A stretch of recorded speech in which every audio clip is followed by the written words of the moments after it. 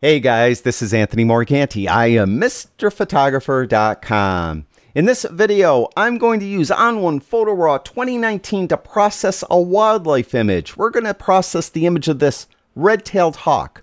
We start out with a raw file that looks like this, and we're going to end up with something that looks like this.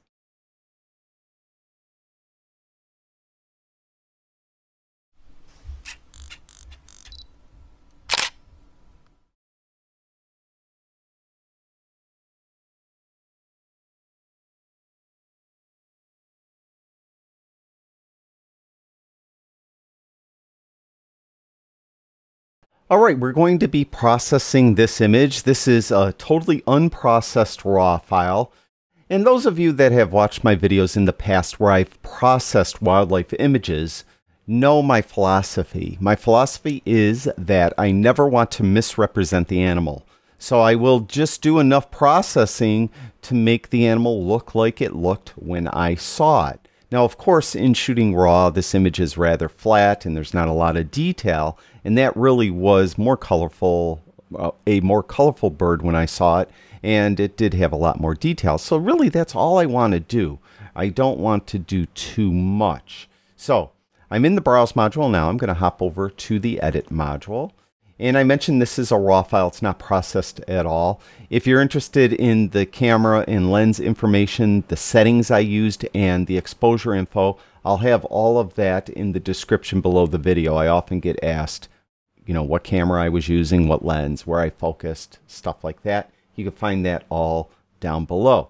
Now, it's not processed at all. I'm just going to do it beginning to end. I prefer to crop early in my workflow. I mentioned that many times. So I'm going to crop it. Now, I don't like cropping wildlife images either, uh, most often because I, I tend to print my wildlife images more than any other photo I might take.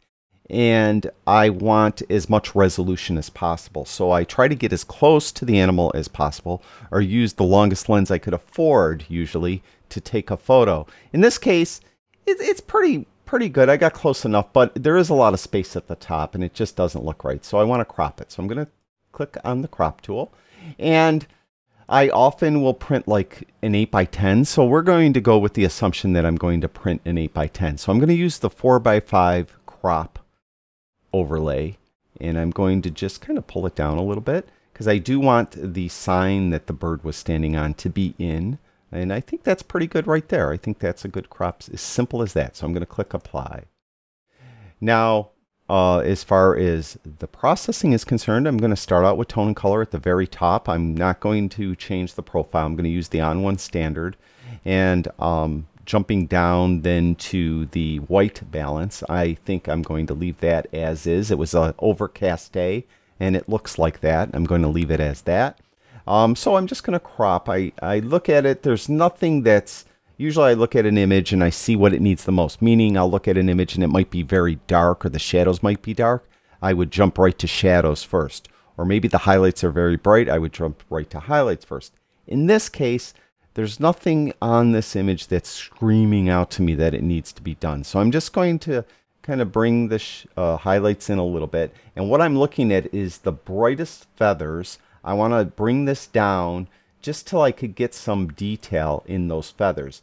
Sometimes I would zoom in and I would look and I'd look at the brightest feathers here and over here. And then I would just bring this down until I see some detail uh, in those areas. And actually all the way down.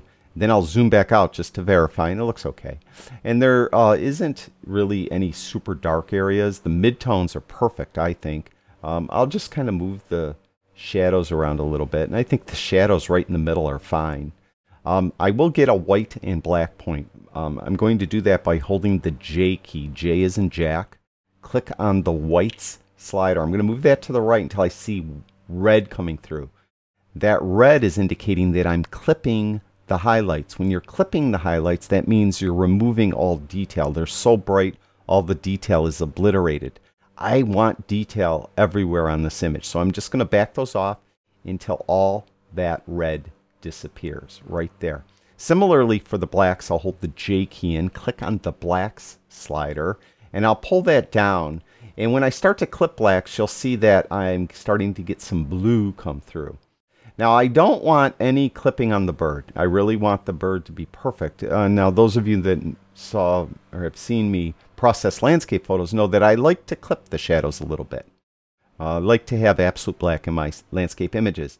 My wildlife images, I don't want the animal clipped at all. So I'm going to just back that up till all that blue is gone, which is right about there.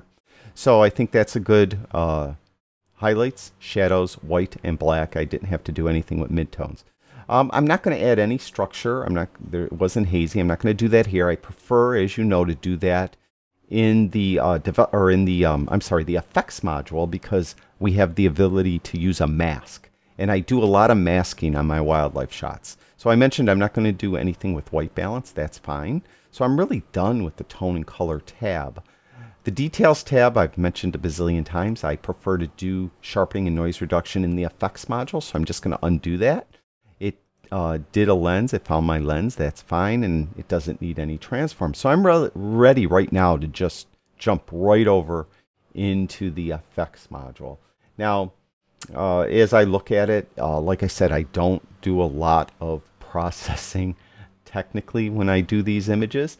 But when I come in, I do think that it needs um, just kind of a color boost a little bit and a little bit more detail. So what I'm going to do is I'm going to go to the add filter and I'm going to go to dynamic contrast right away. And you could see what that did to the bird. And it actually did a nice job uh, to the bird in here, but it's a little bit overdone up in here. So what I'm going to do is I'm going to leave it just at the default values because I like what it did. But what I'm going to do is I am going to utilize the mask. And I'm going to get a what mask on it. I'm going to use the masking brush. I'm going to paint out the effect. But I'm only going to paint out a bit of the effect. So I'm going to keep the opacity at like 25. And then I'm going to get just a little larger brush. And I just want to soften it up on the head of the bird. Because that's where it it seems to be like strongest and I don't like it now. I could look at the mask by going down here in the lower left hand corner and clicking on this little icon there and you can see how it's not fully black. And if I do another stroke, you can see how I'm doubling it up. So I'm I'm applying it little by little and I'm just going to go over all that again just like that. All right, we're going to turn it off so we can see what we actually did. And I think that actually does look better. Now with that, I don't want the background to have any dynamic contrast on it at all. And I'm simply going to paint it in. Uh, so what I'm going to, or paint it out, I should say. So what I'm going to do now is I'm going to move the opacity up to 100. And I'm going to get a larger brush. And I'm actually going to click right here and use the, um, I always forget what they call it, the perfect brush. I always try to call it something else so that it looks for tone, color, and texture, and it will hopefully just brush the uh, away dynamic contrast on the background. So what I want to be careful is that that little minus sign in the middle of the brush does not touch our red-tailed hawk anywhere. We just want it on this background like that. Now it probably did a little bit. Let's look at the mask. We'll click on this little icon again. You could see it did a pretty good job actually. It's a little bit in there. So I could take it away from there. So what I'll do is I'll go to paint in mode and I'll turn off the perfect brush and I'll get a smaller brush and what I'll do is I'll just take it away from because I like the sharpening, or I should say the dynamic contrast in that area. And I'll just go as close to the edge as I safely can. And over here as well.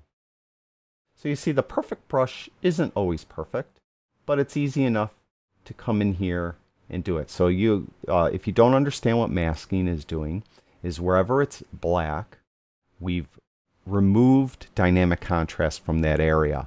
Wherever it's white, dynamic contrast is being applied at 100%. Wherever it's gray, it's somewhere between 0 and 100%. So you can see it's on the bird's head, but not as much, because you remember I painted that away. So what I'm going to do now is I'm going to go to paint out mode, and I'm going to get a larger brush, and I'm going to come in here and just do more of this background very quickly. So this, this uh, overlay helps. Now there are other different there are different types of mask overlays. If we go to the mask uh, uh, menu at the very top and we go down to the view mode, you can see I'm in grayscale. By default, I believe you'd be in um, that red, this red mask, which you could maybe better utilize. Uh, the the grayscale mask is a little more um, obvious, but you don't see the image under it. Go like that. And we'll turn off the mask. I think that's good enough. So there, I have this masked on the bird. Now I want to do something with the color. It was, you know, a little more colorful than what it is. So what we're going to do is we're going to go to add filter and I'm going to go to color enhancer. And really all I want to do is I want to go to saturation and I want to uh, crank that up. Quite a bit actually. I think that the bird was was, you know, fairly colorful. I thought it was at least in my opinion. So I think that looks pretty good. And um, if I wanted that to be only on the bird, what I could do instead of drawing that mask all over again, I could go down to dynamic contrast and copy the mask, go back to, let it take a second to copy and render. And once I do that then, and once it does that, I'll go up to the color enhancer filter and I will um, paste that mask onto the bird. So it's just taking a second. Now I'll go to the color enhancer. I will click on the mask and I'll click paste. And it will pick it will paste the exact mask on the color enhancer filter as well. So the color enhancer is only affecting the bird. And um, what I should do is actually I went down here. I didn't want that. I want this. I made a mistake. You can see now there's a difference. I was wondering why it was so subtle because it was non-existent. So we're going to turn saturation up here. My apologies. Down here is when we're using color ranges. And obviously I wasn't using a color range at that moment. So we're going to turn up, not that much, but you can see how it's mainly affecting the bird in the sign, not the background. So we'll turn that up quite a bit. And that looks pretty good. So color enhancer. And finally, I want to brighten up the uh, red-tailed hawk's eye. So I'm going to click on Add Filter, and I'm going to go to Tone Enhancer. And for this, I'm going to go right to exposure and turn exposure up. Now I'm just looking at the bird's eye. I'm not really looking anywhere else. And I'm going to turn clarity up. But again, we're going to use a mask. So I'm going to click right here on this little mask icon. I'm going to invert the mask, and you can see it took the effect away from everywhere. But I want to paint it in on the hawk's eye. So we're going to go to paint in mode. We're going to be at 100% opacity. And I'm just simply going to click right in here and brighten up that bird's eye. Just like that. And there, look at the eye. There's before and there's after. Before, after. Simple as that. Now, I'm going to finish it off. I'm going to add a vignette. I mentioned I don't do much. Now, I should add, I would do noise reduction quite often, but in this case, I use such a low ISO, and I had a camera that has great ISO performance, there really is no noise whatsoever. So I really don't have to worry about that. So I'm just going to go to add filter, and oops, not vintage, sorry. Going to go to add filter, go to vignette, and we're going to just pull it in from here a little bit. Just like that. I think that looks pretty good. So there is before and after. That's it. That's all I do when I process a wildlife image. As I mentioned before many times, I want to make it look like I saw it. I don't want to misrepresent the animal. That's the way I prefer to do it. I hope that helps you, especially those little tricks with masking, copying, and pasting masks so you could apply your effects exactly where you want them and no place else. Thank you, everyone that watches my videos. I truly do appreciate it. I'll talk to you guys soon.